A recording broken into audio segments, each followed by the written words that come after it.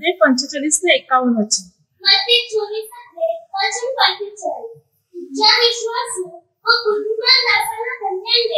आपल्या परिवाराला एकाकडे आगोयात घेण्यासाठी त्याच्यावर नेमलेले आहे असा कोण?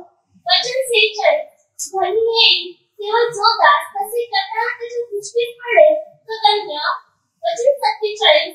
मी तुम्हाला उचित सांगतो की त्याला तो आपल्या सर्व नेईल वचन परंतु आपल्या घरी येण्यास विलंब लागेल असे जर एखादा दुष्ट आपल्या मनात म्हणेल वचन एकोणपन्नास व आपल्या सुट्टीच्या दासाला मारू लागेल व जिंकलेल्या बरोबर काही केली वचन पन्नास तर तो वाट पाहत नसेल अशा दिवशी व त्याला माहीत नसलेल्या घटनेस त्या दासाचा घरी येऊन वचन एकावर त्याला छाटून टाकील व ठोकलेला आवळाचा यावयाचा वाटा त्यांच्या पदरी बांधली ते रडणं व दाग खाणे झाले हालेलुया हालेलुया हालेलुया वचन ते सांगते दुष्ट आणि आळशी दासा बाबतीत वचन सांगते की मात्र की एखादा दास धन्याने त्याला आपल्या सर्वस्वावर मात्र नेमून दिलेले आहे.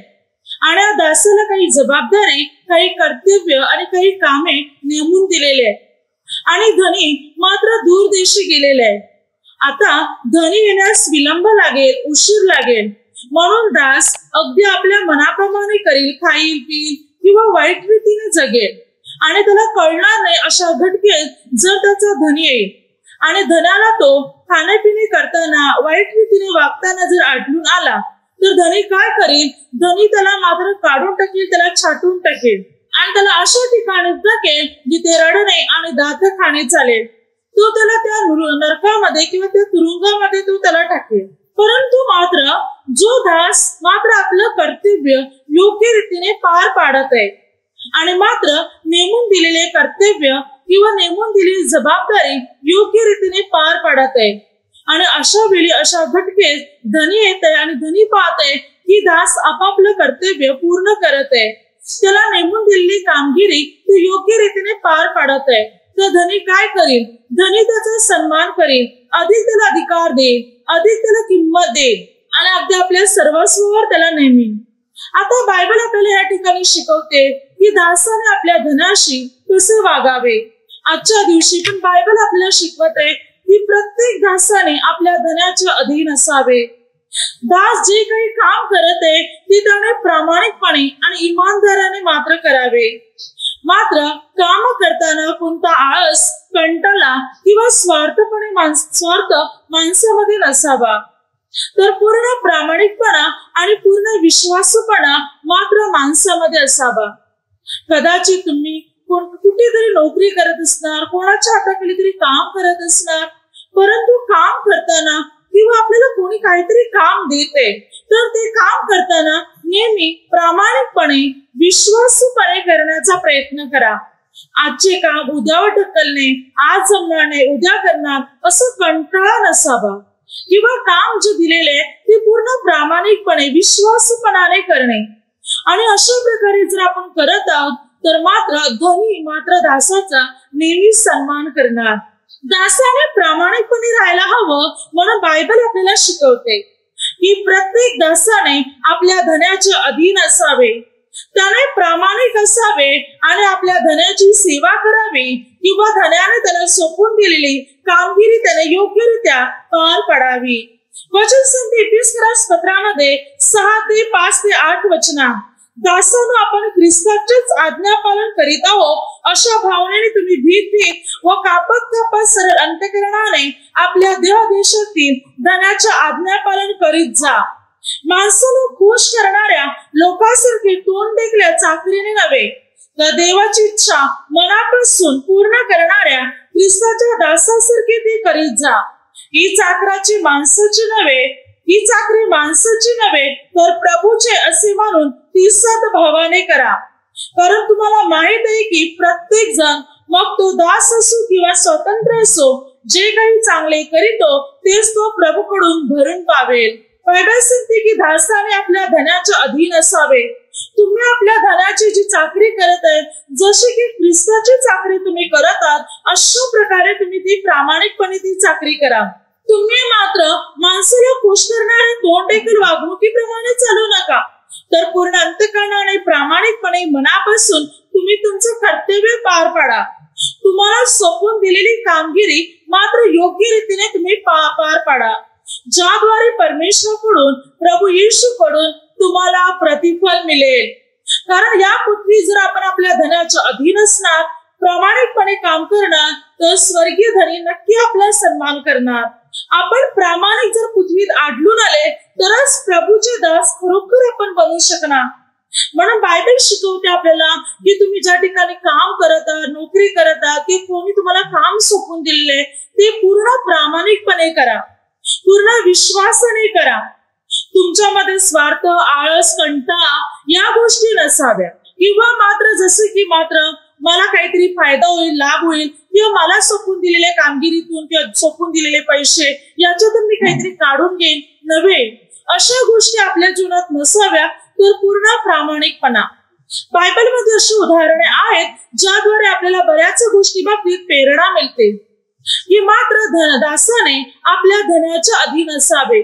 जो दास आपल्या धनाच्या अधीन आहे जो दास प्रामाणिकपणे चालत आहे त्याचा सन्मान अगदी त्याचा धनी सुद्धा करत आहे.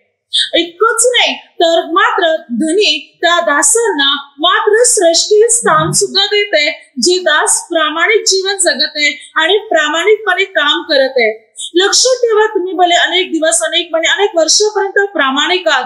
तुमच्या प्रामाणिकपणाचा कदाचित तुम्हाला त्याचं फल मिळालं नसेल पण नक्की मिळेल नक्कीच आहे. खात्री ठेवा विश्वास ठेवा खात्री बालगा. तुम्ही प्रामाणिक कदाचित तुम्ही प्रामाणिक असून इतकी वर्ष लोटलेली आहेत तरी मात्र तुमच्या प्रामाणिकपणाचं तुम्हाला फल मिळालं नाही. परंतु एक ना एक दिवस नक्की तुम्हाला त्याचं फल मिळेल पण प्रामाणिकच राहा. तुम्ही बदलून जाऊ नका बिघडून जाऊ नका. तुम्हाला वाटत असेल इतर लोक किती वाईट रीतीने वागतात. मात्र धन्याला दासाला मालकाला फसवतात साहेबाला फसवतात. कंपनीतलं किंवा या ठिकाणातलं काही ना काही चोरून येतात.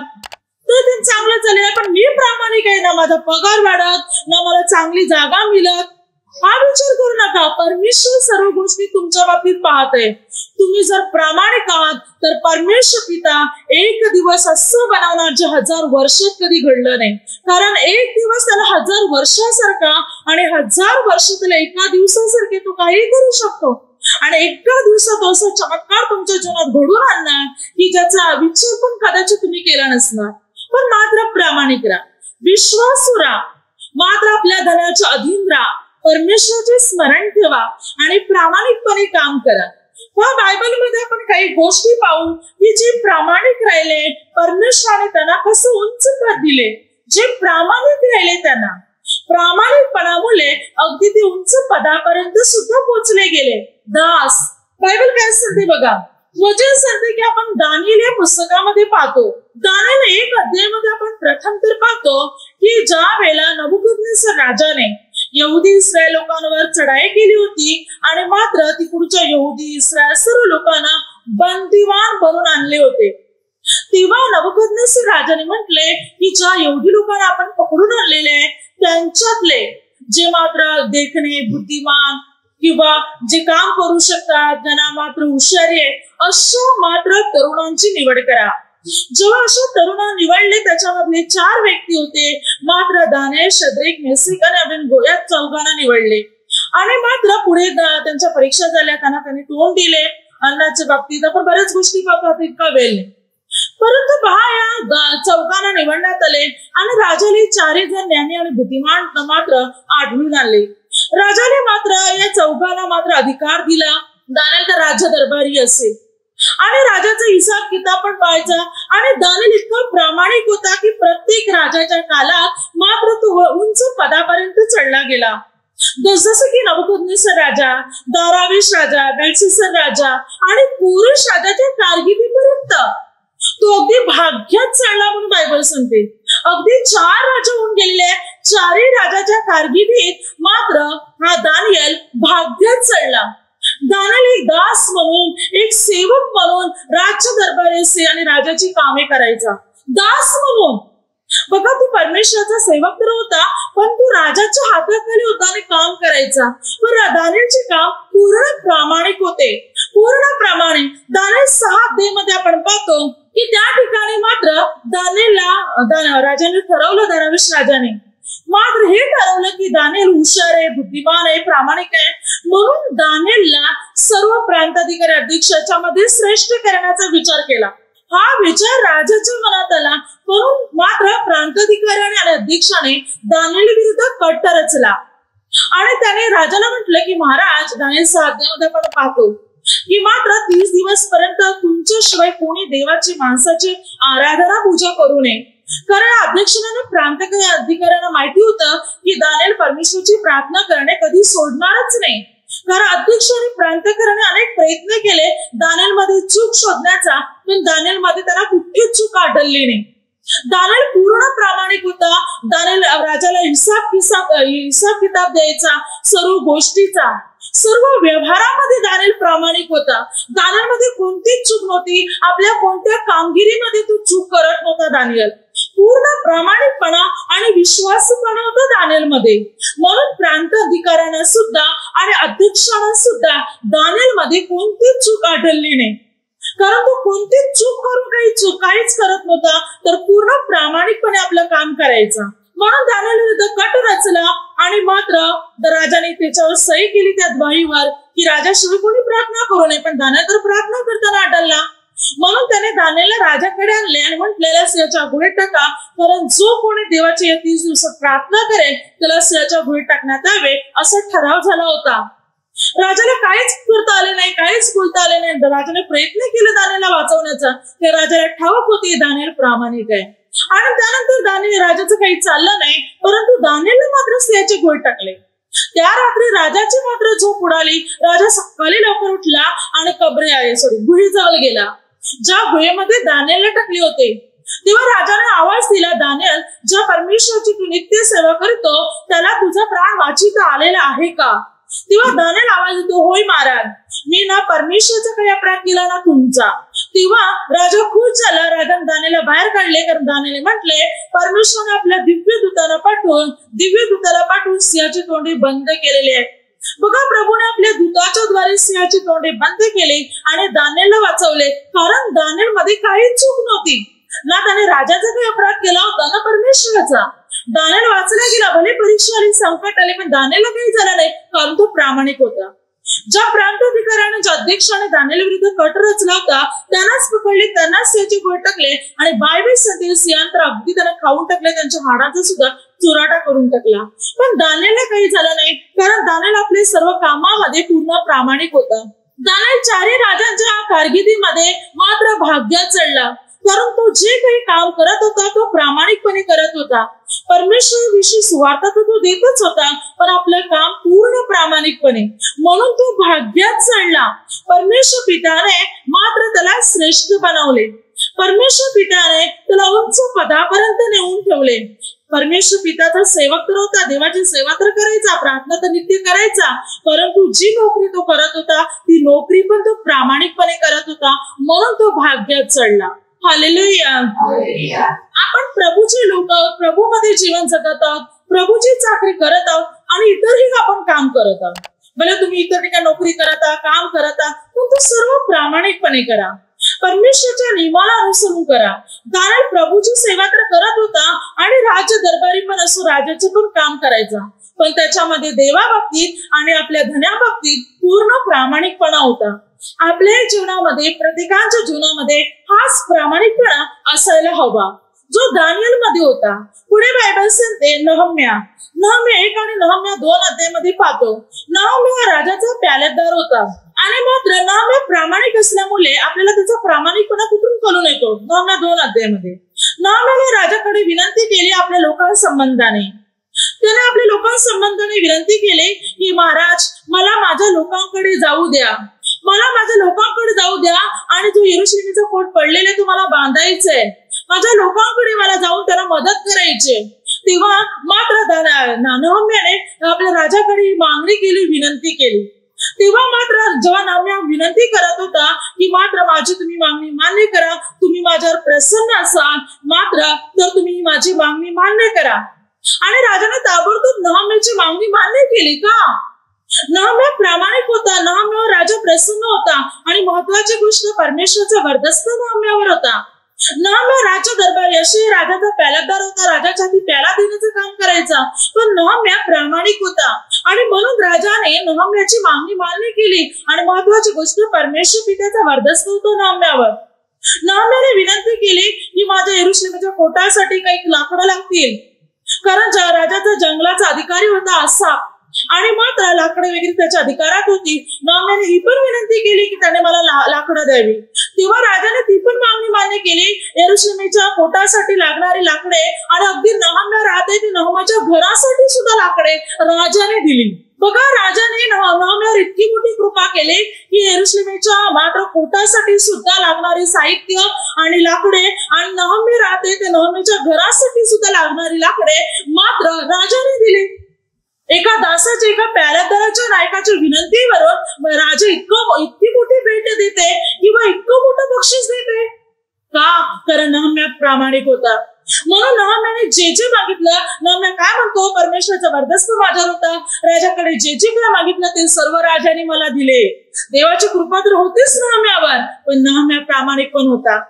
आणि देवाची कृपा कोणावर असते? जो प्रामाणिक असतो जो परमेश्वराचे नियम पाळतो जो मात्र आज्ञाकारिक असतो अशावर देवाची कृपा असते. नहम्या प्रामाणिक होता म्हणून देवाचा वरदस्त नहम्यावर होता आणि म्हणून देवाने नहम्याच्या सर्व इच्छा पूर्ण केल्या. आणि त्याने तो यरुश्लेमीचा कोट बांधून काढला जो बांधण्यासाठी केवळ फक्त बावन्न दिवस लागले.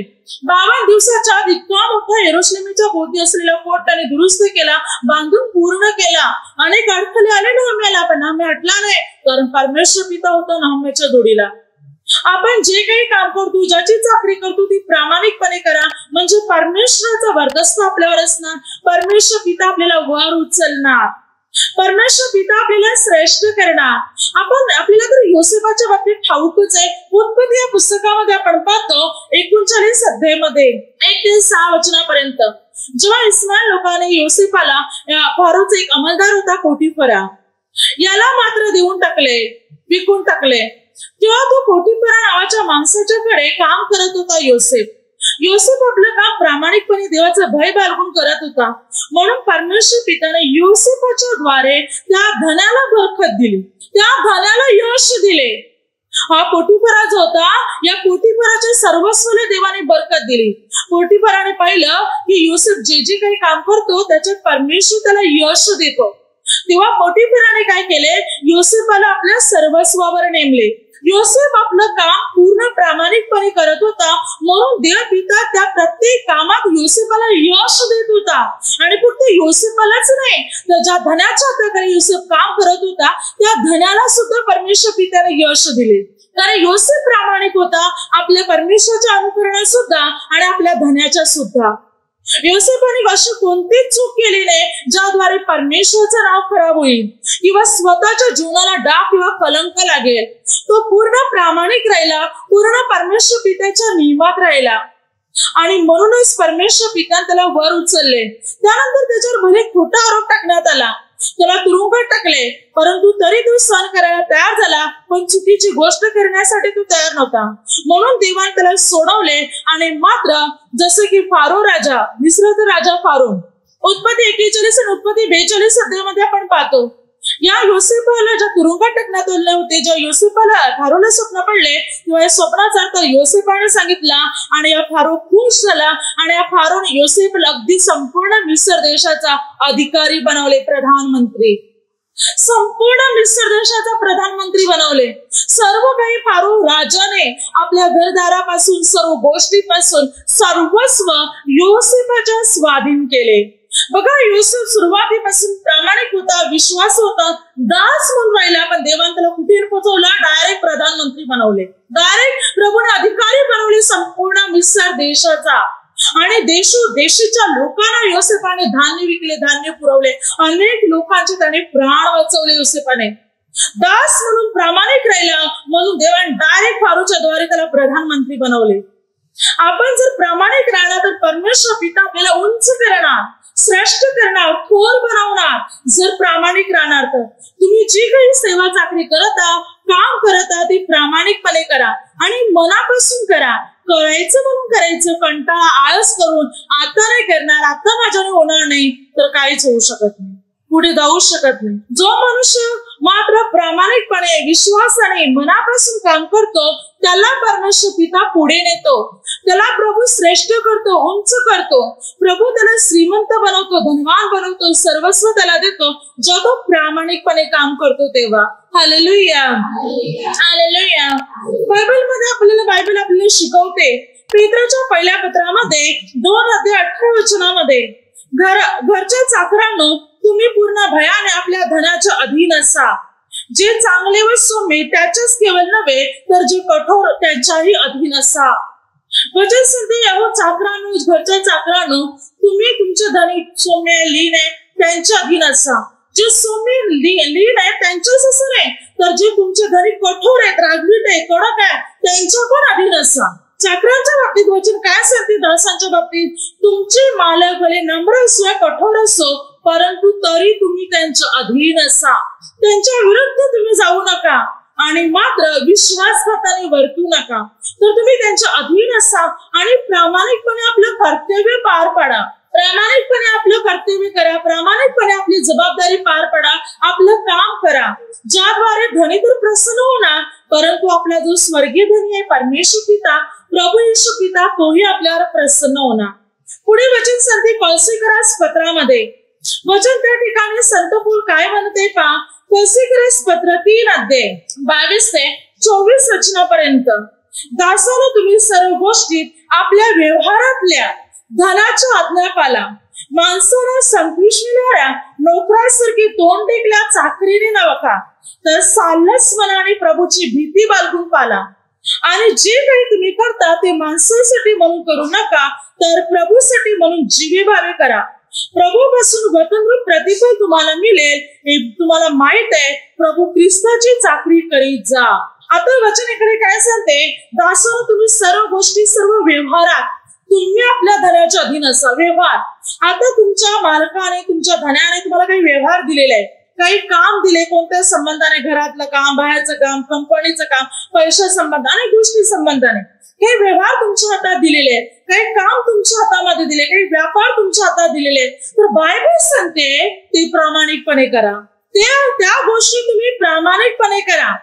आणि वचन सांगते की मात्र तोंड देखील म्हणजे असं की तोंडाने आपण कुशरकी मारतो की तर तोंडाने गोड गोड गोष्टी करतो हा मी करीन असेल तर नाही. बायबल सांगते तोंड देखील चाकरीने नव्हे तर साल्लच मनाने प्रभूची भीती बाळगून करा. प्रभूचं भय बाळगा मी इकडे चूक करणार नाही मी वाईट करणार नाही मी पैशाचा कुठे घोळ करणार नाही. मला जे सोपून दिले ते मी प्रामाणिकपणे करणार. प्रभूची भीती बाळगून बायबल संधी करा प्रभू ख्रिस्ताची चाकरी समजून करा की जणू काही मी प्रभूची चाकरी करत आहे. कारण तुम्हाला वचन सांगते प्रभू पासून प्रतिफल मिळेलच. गल्यापासून तर मिळेल पण प्रभू पासून पण प्रतिफल मिळेल. जर आपण प्रामाणिकपणे आपल्या धनाच्या अधीन असणार त्यांची सेवा करणार त्याने झोपून दिलेली जबाबदारी पार पाडणार योग्यरित्या काम करणार तर वचन सांगते धनित स्तुती करणार पण प्रभू सुद्धा प्रतिफल देणार. प्रामाणिकपणे काम करायचंय धनाला बसू नका. नाहीतर आपण दोन राज्य पाच अध्यायमध्ये पाहतो गेहची. जो नामान कोडी होता आणि त्याचे कोड मात्र अलिशा संदेशकडे येऊन जेव्हा अलिशा संदेष्ट म्हटलं जा यातने जवळ सात वेळा बुचक्या मार त्याने बुचक्या मारल्या सात वेळा अंघोळ केले आणि नामानाचे कोण निघून गेले? नामार बरा झाला म्हणून पुन्हा तो आपल्या मात्र आपलं धन घेऊन सोने रुपये घेऊन मूल्यवान वस्तू घेऊन तो अलिशा संदेष्टाच्या भेटीस आला.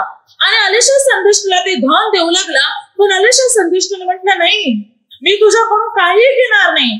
अलिशा संदेष्टाने नामानाकडून काहीच घेतलं नाही. मग नामान आपलं सर्वस्व धन घेऊन परत निघाला.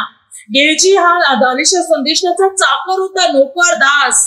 या गेळजीने काय विचार केला? माझ्या दर्याने सर्व परत पेटून चूक केले. मी त्याच्या पाठी जाईल आणि त्याच्याकडून धन घेईल आणि गेजी गेजीने जाऊन त्या नामानाच्या रथाचा पाठलाग केला. नामानाने पहिलं कोणीतरी आपल्या मागे येते म्हणून त्याने रथ थांबवला. आणि मात्र नामानाने म्हटलं सर्व काही ठीक आहे ना? सर्व सुखरूप आहे ना? तेव्हा गेळजीने म्हटलं सर्व काही सुखरूप आहे. मात्र धन्याकडे नुकतीच आता दोन शिष्य आलेले आहेत. तर त्यांना मात्र दोन पोशाख आणि एक किंकार चांदी द्या. हा भाव घ्यायची खोटी बोलतो. आणि नामानाकडून खोटे बोलून आपल्या धनाचे म्हणजे अलिशा संदेशनाचे नाव सांगून खोटे बोलून मात्र पैसे आणि कपडे घेतो. नामा म्हणतो एक किंकार कशाला? दोन किंकार घे.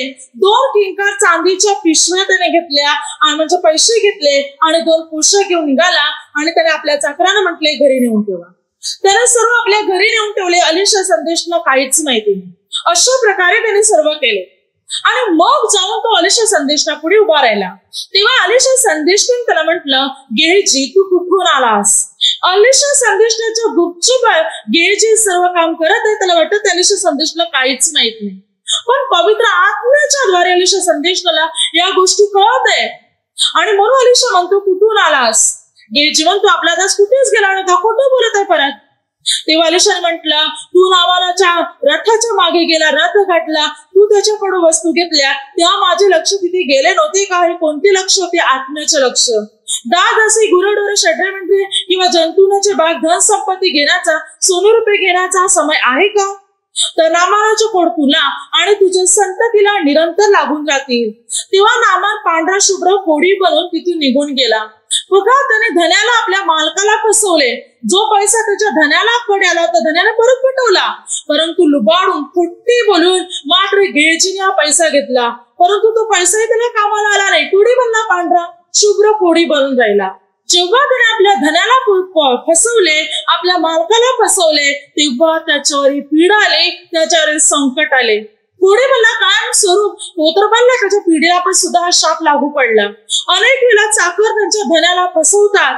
व्यवहारामध्ये पैशामध्ये अनेक गोष्टीमध्ये चुकीच्या गोष्टीमध्ये मात्र ते उतरतात. आपल्या मालकाला आपल्या धनाला फसवतात. काही कंपनीमध्ये पाहतो काही नोकर चाकर काम करणारे काही वस्तू चोरी करून आपल्या घरी आणतात.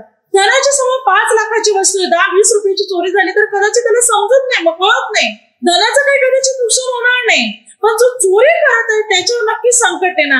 भले मालकाला माहिती नाही की माझ्या नोकराने अमुक अमुक एवढी वस्तू नेलेली तेवढी नेलेली आहे त्याला कदाचित एवढं अंदाज येणार नाही. कारण एवढ्या लाखाचं सामान आहे त्याच्या दहा वीस रुपये पन्नास शंभर रुपयाची वस्तू केली त्याला समजणार नाही. पण जो चाकर जो नोकर जो दास ती चोरी करत आहे त्याच्यावर नक्की संकट येणार. तो यशस्वी कधी होऊ शकत नाही. जो चोरी करतो तो जो धनाला मालकाला फसवतो तो तो कधी यशस्वी होऊ शकत नाही. तो कधी पुढे जाऊ शकत नाही. म्हणून बायबल आपल्याला शिकवते तुम्ही प्रामाणिक असा.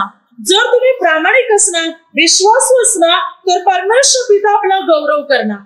बघा बायबलमध्ये असं एक दास आहे ज्याला धन संपत्ती सर्व काही त्याच्या अधिकारात दिलं होतं.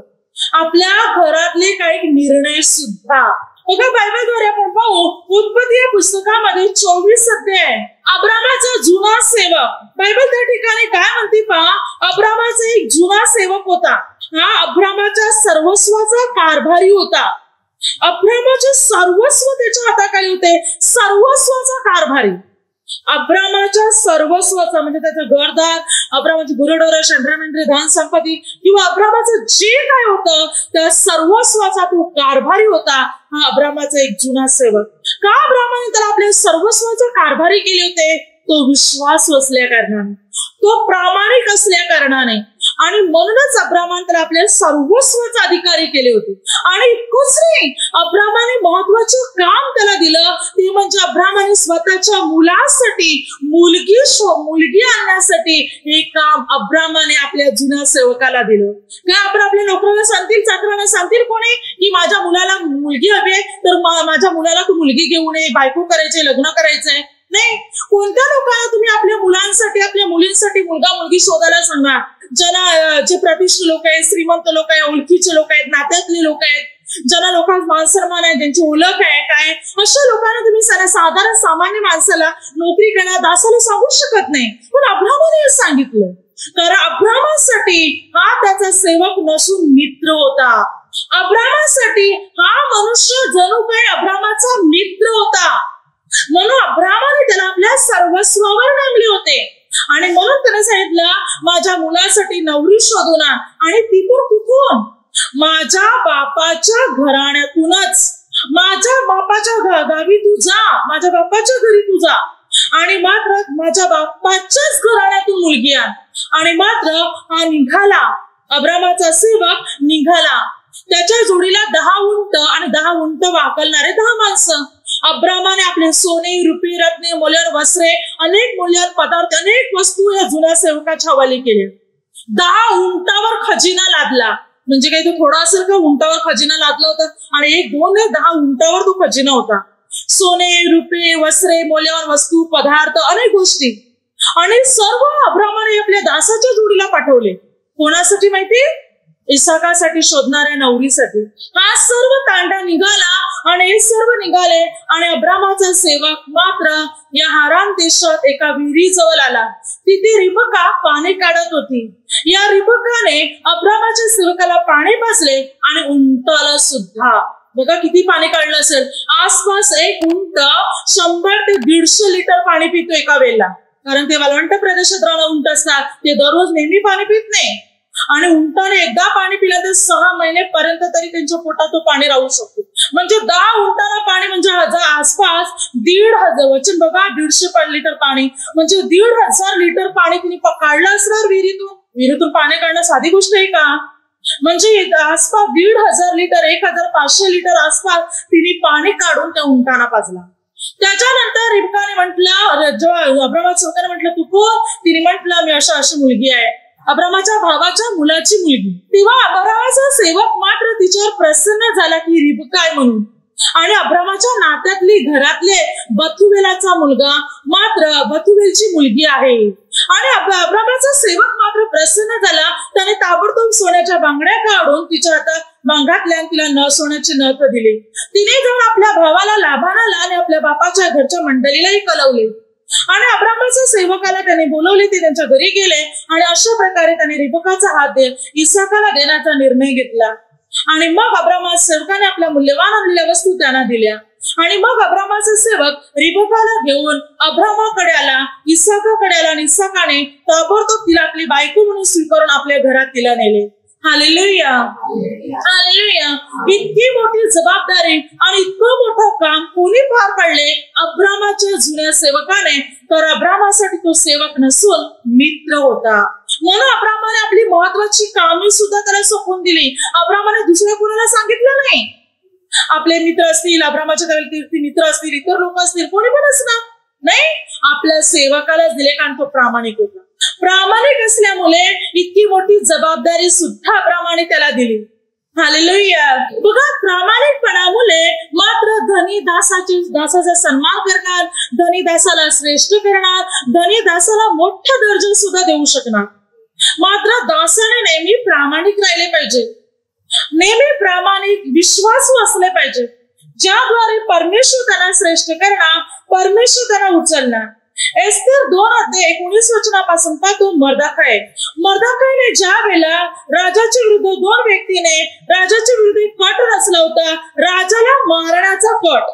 त्याला मर्दकाय हा राजा दरबारी असे. परंतु या मर्दकाईने मात्र राजाचे प्राण वाचवले. मात्र ही गोष्ट एस्तर राणीला कलवली आणि मग ही राजाला कलवण्यात आली. आणि ज्या दोन खोजे मात्र राजा विरुद्ध कट्ट रचत होते आणि मग चौकशी केली ती गोष्ट सत्य समजून म्हणजे समोर आली आणि अशा प्रकारे राजाचे प्राण वाचले मर्दाखाई राज्य दरबारी होता एक दास म्हणून एक सेवक म्हणून काम करायचा.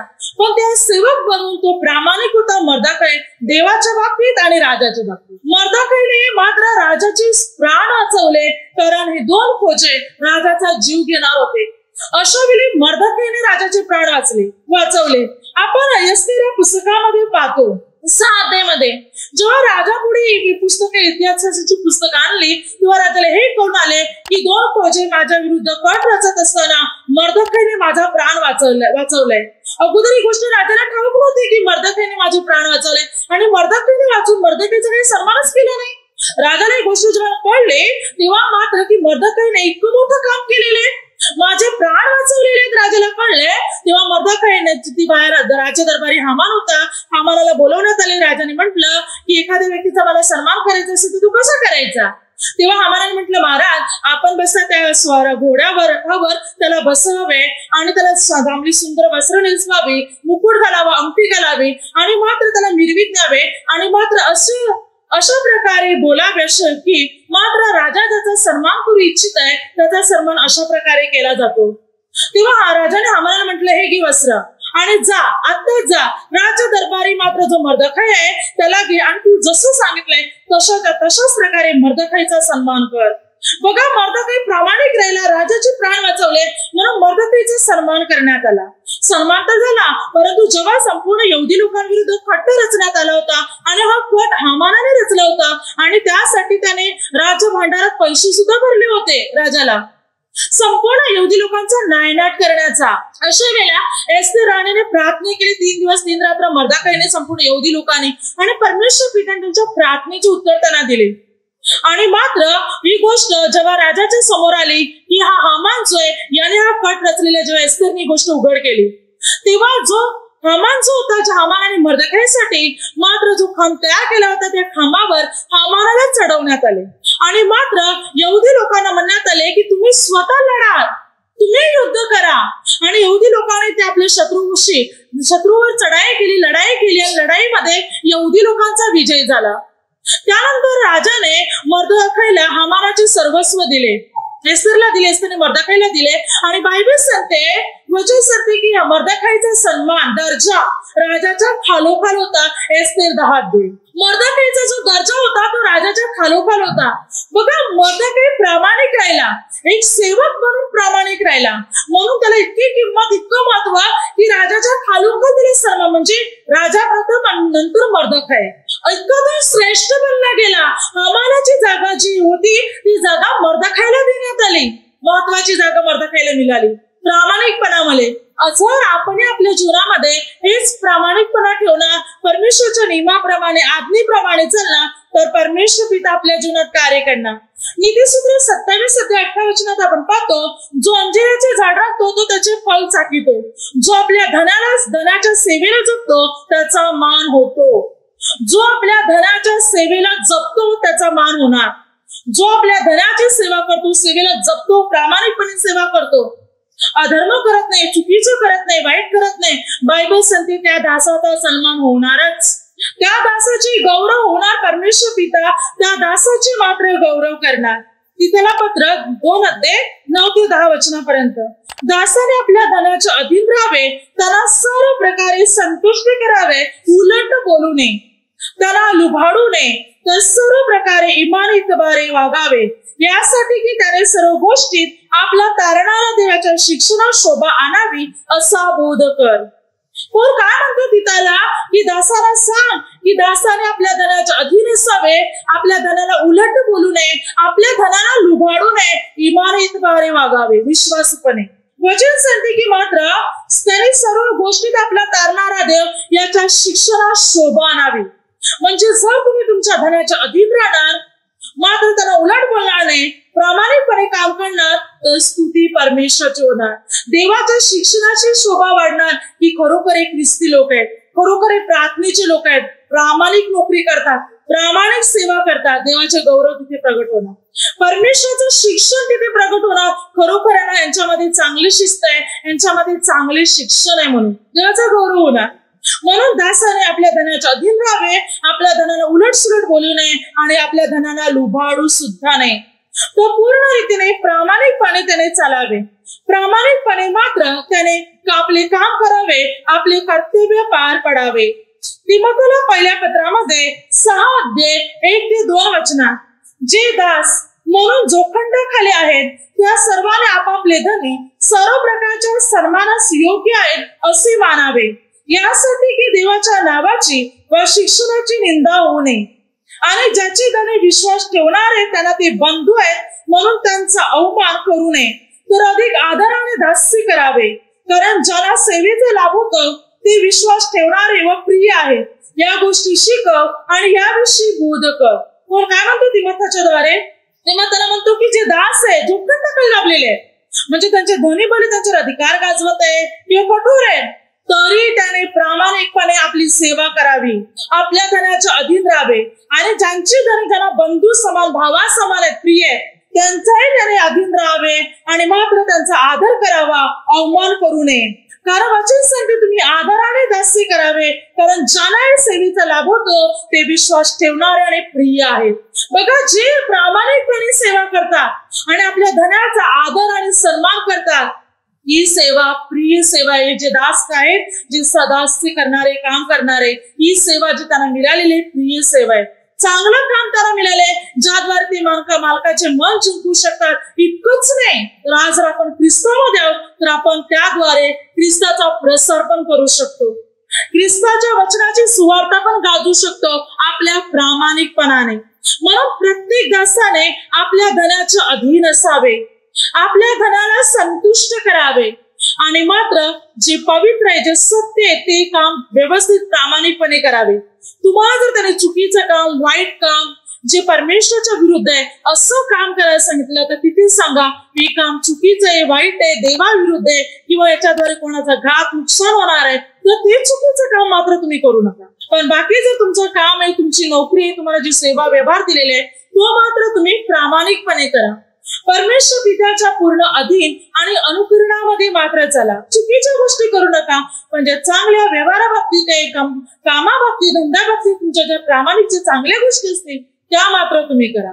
आपल्या धनाच्या अधीन राहा. म्हणजे तुम्ही तुमच्या धनाला प्रसन्न करू शकणार. इतकंच नाही जिथे परमेश्वर पिता सुद्धा तुमच्यावर प्रसन्न होणार परमेश्वरचा लाभ पण तुमच्यावर घडणार. म्हणजे देव पिता स्वतः तुमच्या जीवनात कार्य करणार कारण जर तुम्ही प्रामाणिक राहिले तर. म्हणजे धनी पण खुश आणि परमेश्वर पण खुश. दोन्ही खुश असणार आपल्या प्रामाणिकपणामुळे. म्हणून दास आपण कोणतेही काम करत आहोत कोणतीही नोकरी करत आहोत कोणाच्या पण हाताखाली आपण प्रामाणिक राहा. विश्वास राहा. कारण जर पृथ्वीतल्या माणसाच्या अधीन प्रामाणिक राहिले तर आपण प्रभूच्या हाताखाली प्रामाणिक राहू शकतो. इकडच आपण आपल्या धनाला पृथ्वीतल्या धनाला फसवतो माणसाला फसवतो आपल्या मालकाला फसवतो तर देवाला नाही का फसवणार? फसवणारच. म्हणून अधीन असा परमेश्वरच्या योजनेप्रमाणे चला प्रामाणिक आणि विश्वासू जीवन जगा.